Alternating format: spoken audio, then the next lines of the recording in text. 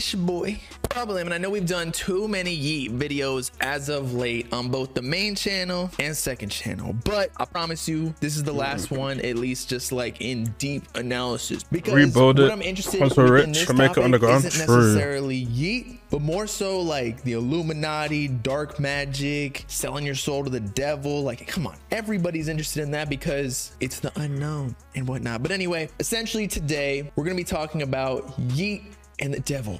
A modern Okay. success story that was posted on Reddit. So shout outs to the authors who originally created and wrote this material. And it was all inspired by a specific post wherein actually we were on Twitch with Korn talking about how allegedly Yeat had like a sigil or sigil, however you pronounce it, wherein he gave up his life or soul to a demon for the right to use their power and thus become the success that he is today, taking over the rap game by storm. Okay. I wouldn't say he's taking First, over. over this post. Okay, I wouldn't say he's taking over the rap game.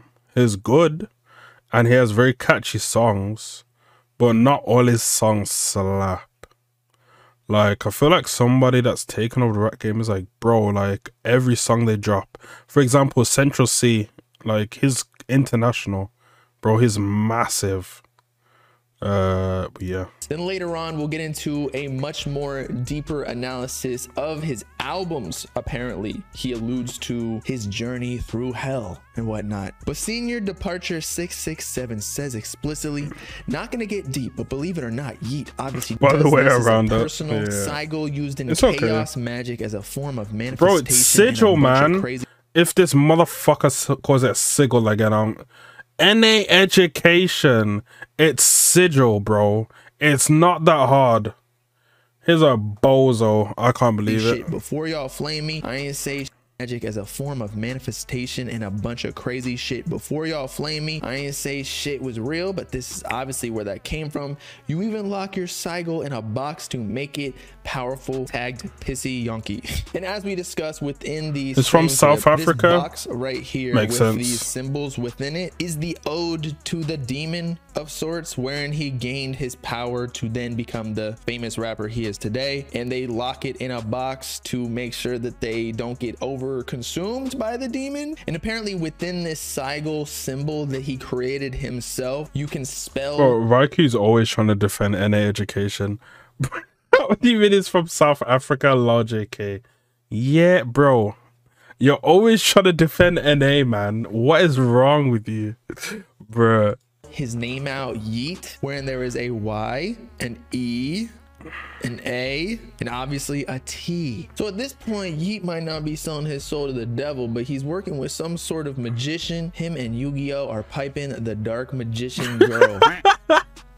But regardless, there's a much deeper story, as I keep mentioning. Throughout all of the most recent albums by Yeat, wherein he actually started to cultivate a fan base, did he do this on purpose or are the fans just reading too much into it? Probably. Just as with most conspiracy theories, just because there's correlation of evidence doesn't necessarily mean there's causation. But anyway, let's check it out and then I'll give my objective opinion as to if I believe it or not. And I do believe in ghosts, demons, spirits, all of that. I've seen a ghost myself in Italy Same. from a burned down village. At least I mm. thought I did. But shout out premature ejaculation. Yeat and the Devil, a modern success story. Been seeing a lot of posts about all that demonic shit. I fuck with Yeat's music, but he's straight up a devil worshiper. Y'all thought I was stupid when I was comparing Yeat to Playboi Carti. Well, look now. They both are claimed to be devil worshippers. I would not be surprised if Yeat turned into a vamp soon. Maybe Cardi is the reason that he's a vamp. He bit him while he was sleeping. And he's not Vamp trying to hug true. It's irrelevant whether you believe in this kind of stuff or not because Yeat most definitely does.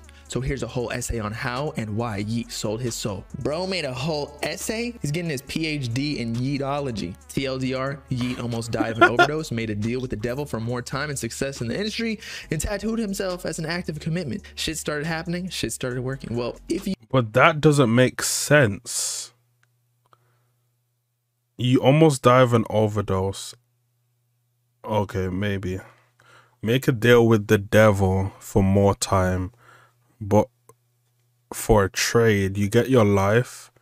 But the devil doesn't get anything out of that because he's giving you your life and he's giving you fame, what does the devil get in return? You overdosed, wouldn't you just want to be alive? In a negotiation, when somebody is desperate just for one thing, you're not going to give them extra. Like, okay, I'll let you. That's what I said. Someone advocating demonic shit. Yeah, but it's two for one. It's not really a fair trade. Live more, and in return, I'm gonna take your soul. But wait, I'm gonna make you super famous. You're gonna fuck bad bitches. You're gonna get hella money. You're gonna be, a, be able to do whatever you want. I don't know. Maybe his See? soul was like the lottery or something. Pre-alive era. Yeat's symbolic battle between God and the devil was noticeable in some of his older tracks. The art for his different creature project showcases this conflict. Early on, Yeat was pretty balanced out. Some of his lyrics were about feeling blessed and trusting the process. Others were about being cursed and embracing sin. Most of those early lyrics weren't explicit references to God or the devil, though. On Nobu, I prayed to the devil, he gave me some luck blood. This is one of the first times that Yeat brings up the devil, but is definitely not the last. He starts to Huh? mention having met with the devil more and more frequently during the later stages of this era.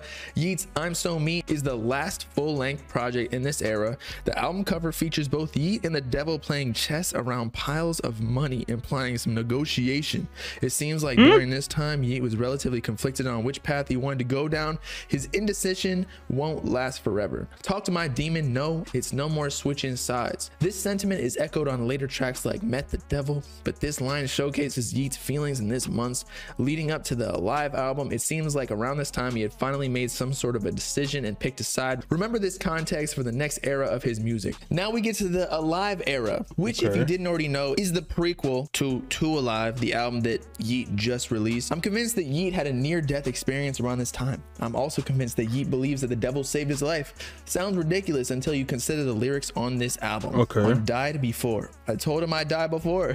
they wouldn't believe it. Take this line and pair it with the heart monitor from the album cover. The implication is that Yeat's heart had stopped at some point, likely due to an overdose.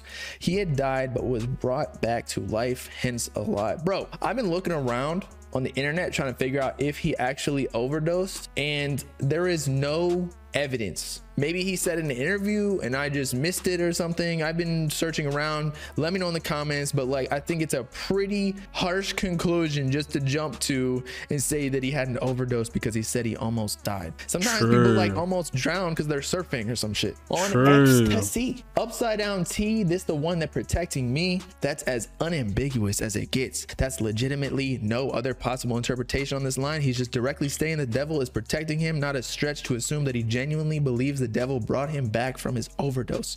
Again, we're basing a lot of this evidence on assumptions that we made that aren't even necessarily correct. Didn't y'all take science class? Also, just because an artist such as like Uzi or Carti mentions the devil in their songs, it's all the image. They don't actually believe in the devil, or at least I don't think so. Upside down tees, upside down the cross, but devil yeah, yeah, me I my time was ticking. I got like 30 days. At this point, Yeat knows that the devil is waiting on his follow through, whatever the specifics might have been. He doesn't really have an option to back down now. Those aren't even the only times he explicitly mentions the devil on this album. Take all of that context, pair it with I'm So Me deal with the devil framed in the alive cover background and the pillars of money in the foreground. He's spelling it out for everyone. Yee was at the end of the road and made a bargain with the devil, his soul in exchange for renewed life and a prosperous career. 4L era, which was the I album that he dropped, what, like late 2020, 2021? I don't know. I feel like Pete, the rappers also do it for clout or like semi emo vibes and stuff like that. You know, like they do it for uh yeah, just clout basically, like just faking stuff or talking about because it gets people talking. You know, it's like a talking point was why people want to do that and stuff. Yeah, to get more fame basically. Something like that. Keep in mind that 4L released only two months after Alive. 4L was the album that catapulted Yeat into the public eye. Yeat only had a few songs with any sort of significant buzz prior to 4L, and they were nowhere near reaching a mainstream audience. A lot of people think that Yeat's distribution deal was responsible for his TikTok growth, but that's just not the case. Sorry about that blew up because of ex Vine star and musician Dope Island who fucked with the song and brought it onto the platform. Regardless of how consistent Yeat is with the music, it's still a rarity for an artist to have that degree of organic growth within that time period without any prior hits. Well, I don't know about that. I mean, a lot of shit on TikTok blows up. It might look organic, but a lot of times, like big people on different platforms don't just shout out smaller artists without True. getting a bag. So True, bro. Like things can randomly pop pop off, but bro, everything's paid for. If you want, if you expect to blow up just by like posting a random video, yeah, you might get in the algorithm, but most of the time, like if it's music and stuff, they're paying off like bigger artists to dance to their TikTok song, like bro. Even like Beyonce, that coughing song uh, uh, you know, the one that goes, "We're getting fucked up tonight," bro. That one, that Beyonce defo had a deal with like a couple of TikTok stars. Like, all right, we're gonna make a dance to this song, you know, and then we're gonna put on TikTok. And bro, it just popped off actually, or maybe not Beyonce directly, but her manager, her team. Like when you're that big, you just got people to do stuff for you. I know that Yeat wasn't necessarily signed during 4L. However, his management might have threw somebody a couple bags. 4L Yeah, that's what I just said. Blatant devil references for equally blatant disrespect of God. Going back to Ella, Talk to God, Sideways, Mountain Climbers, Money Twerk. All of these songs feature lyrics about how Yeat is kicking it with gods, doing drugs with God, getting to God's height, etc., etc. On Talk to God, bitch tell me she love God. I'm high with the gods. This whole album is essentially Yeat manifesting the rewards of his bargain and claiming that he has reached God's level while disrespecting all of his rules. He is in essence his own God. Bro, that's just like rap lyrics, portraying a very masculine, confident image that you are of God's status. You're not gonna listen to no rapper who's talking to you about how they're a whole bitch, like they get no ass. They are an upstanding citizen that just goes to the grocery store and cuts coupons. Nah, you want some dude who like kills people, does drugs, sell drugs, because it takes you out of your regular ass life, including myself. Like, That's why I listen to rap. Makes me feel like I'm, I don't know, not a pussy. Up to me era. By this point, True. Has also blown up through TikTok, providing Yeat with a larger fan base and more mainstream attention. The same disrespect towards God continues on Up to Me with Stayed the Same and Back on Him, along with other devil references on Hey and Yeah Yeah. But beyond that, within this album are two of the most upfront lyrics about this deal with the devil that Yeat has ever put out. On Wait, this bar's kind of sus. I like this bar though. I mean, I don't. Uh, anyway, the song's good. But to tell you how I'm doing this shit, I got the devil on my phone. He keep telling me doing this shit. Yeah, devil taught me how to get rich. Yeah, how many bands? Six, six. But if it said six one more time, then it would have been, it would have been done. But I guess that's kind of, you know, saying what it is. Money so big, about to tell you how I'm doing this shit. I got the devil on my phone. He told me keep doing this shit. Yeah, devil taught me how to get rich. Yeah, how many bands? Six six. Again, pretty clear implication as of right now. This also happens to be his most streamed song. So maybe the devil boosted the sales of this song specifically to make it seem like he's better than God. Online for fun. Link Bro, alright. Alright, I'm gonna keep it stuck. How does the devil help you get stuffs, bro? Like you think the devil's showing up to fucking Spotify and TikTok meetings and be like, Ayo, I got this one kid, I saved his life.